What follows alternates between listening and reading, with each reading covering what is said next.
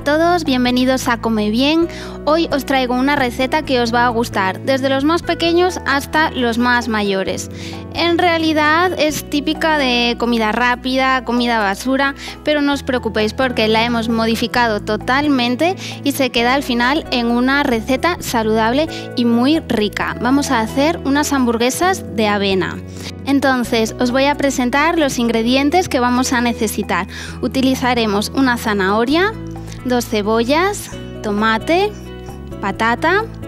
Vamos a utilizar para darle sabor comino, un mix de semillas, anacardos y nueces, perejil, ajo, como no, la avena, es posible que necesitemos algo de agua, también pan rallado con ajo y perejil, un poquito de salsa de soja y luego pan para montar la hamburguesa. Bueno, pues comenzamos y vamos a encender la olla, le vamos a poner aceite porque vamos a rehogar las verduritas.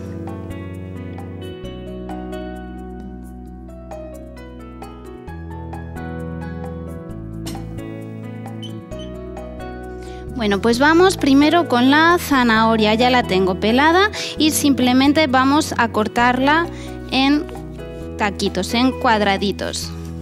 Entonces le hacemos un corte a la mitad y luego la apoyamos sobre la tabla, hacemos tiras y ahora estas tiras las volvemos a cortar y ya tenemos los cuadraditos. Mirar, la zanahoria es un calmante estomacal, es muy digestiva y ayuda a regular el funcionamiento intestinal. Entonces es muy beneficiosa para todas aquellas personas que tengan problemas de estómago. Que hoy en día a veces comemos comidas rápidas, comemos mucho fuera de casa y el estómago muchas veces sufre con todos estos alimentos.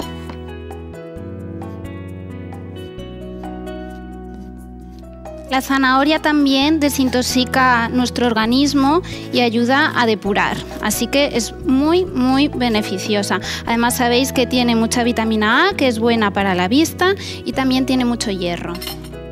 Bueno, pues la vamos a poner aquí ya en el aceite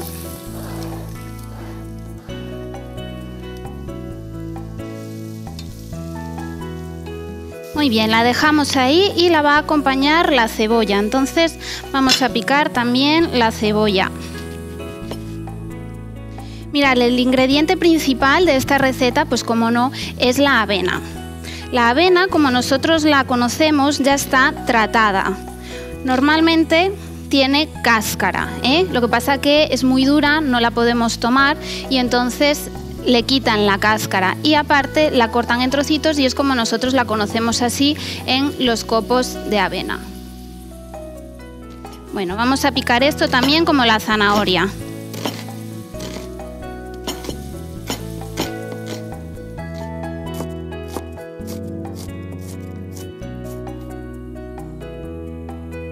Bueno, la avena la podemos conocer de muchas maneras, de muchas formas. Hay en harina, la hay en leche, en salvado y en copos, que es como la vamos a utilizar hoy. La mejor manera de tomarla es cruda, porque tiene todas sus propiedades íntegras, pero es verdad que a algunas personas le puede sentar un poco difícil para el estómago de digerir. Bueno, entonces para estas personas pueden tomarla cocinada. De todos modos, la avena es muy beneficiosa para el estómago porque protege la mucosa intestinal, ¿de acuerdo? Muy bien, vamos a añadir aquí también los ajos.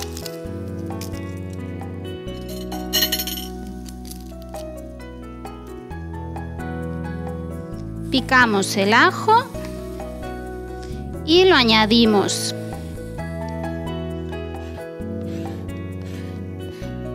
Muy bien, pues ahora para que la receta tenga sabor vamos a ponerle comino molido, bastante, ¿eh? como media cucharadita pequeña.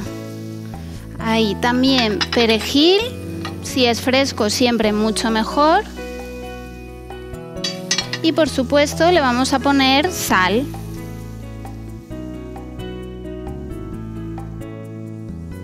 Lo removemos.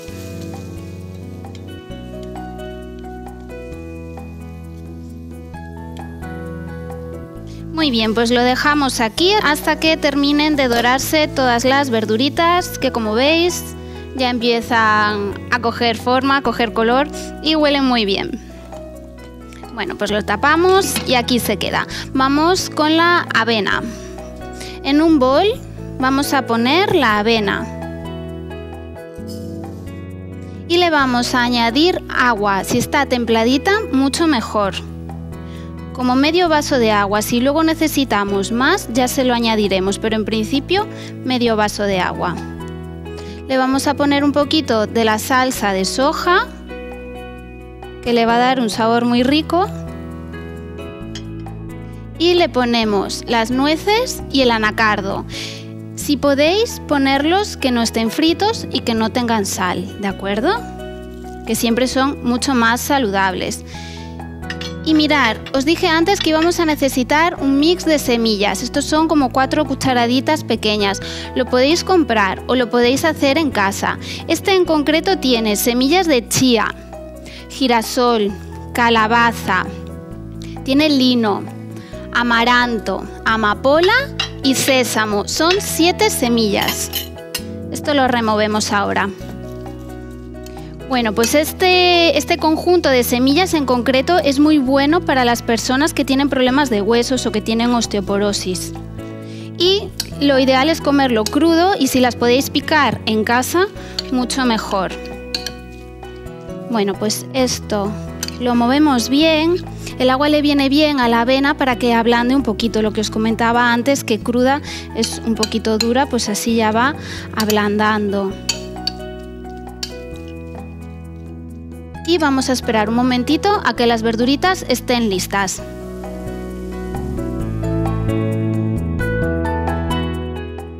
Bueno, pues esto ya lo tenemos listo, se lo vamos a añadir a los copos de avena y ya casi están las hamburguesas, toda la masa preparada. Como veis, son muy consistentes, llevan muchas cositas y todas ellas muy saludables.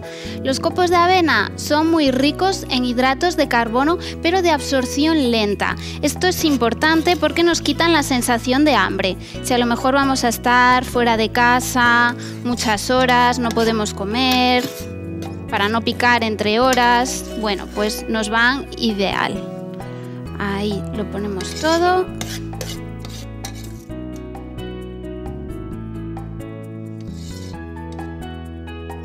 Muy bien. Vamos a mezclar esto y ahora tenemos que jugar un poquito con el agua y con el pan rallado hasta alcanzar la textura ideal. Lo amasamos bien de modo que vayamos como rompiendo la avena, ¿eh? Al estar en contacto con el agua se va como deshaciendo. Entonces con una cuchara apretamos bien y se irá haciendo, mirar, os lo voy a enseñar. ¿Veis por aquí? Por esta zona que los copos han perdido la forma, ya son más como una masa. Y aquí que todavía no los he amasado, todavía están enteritos, ¿vale? Entonces que se nos queden así, bien aplastaditos. Vamos a añadirle un poquito de pan rallado y volvemos a remover. Bueno, pues esto ya tiene la textura ideal, como veis es muy jugoso y ahora lo vamos a poner en la nevera 10 minutos, ¿de acuerdo?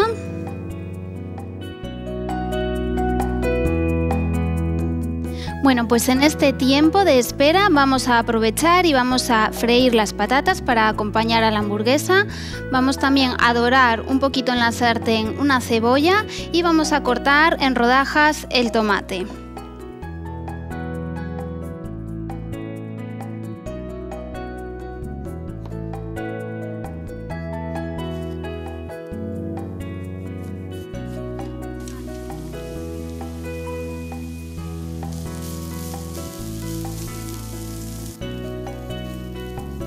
Bueno, pues como veis están friendo las patatas, las hemos cortado en tiras que sean bastante gorditas y tenemos también aquí la cebolla en la sartén con nada, muy muy poquito aceite. Esto es lo que vamos a utilizar de guarnición para la hamburguesa. Pues ya tenemos la guarnición, la vamos a salar, que no se nos olvide. La cebolla no hace falta, ¿eh? pero las patatas y el tomate sí. Y ahora vamos a preparar las hamburguesas. Tenemos ya la masa que le hemos quitado de la nevera y cogemos un poquito con una cuchara. Les damos forma Voy a coger un poco más. Y hacemos como una bolita en nuestras manos. Ahora, esta bolita la apoyamos aquí en la tabla y la aplastamos. No os recomiendo que las hagáis muy finas porque se os pueden deshacer, ¿eh? Muy bien, las rebozamos en el pan rallado que hemos utilizado antes, ya el mismo, y a la sartén.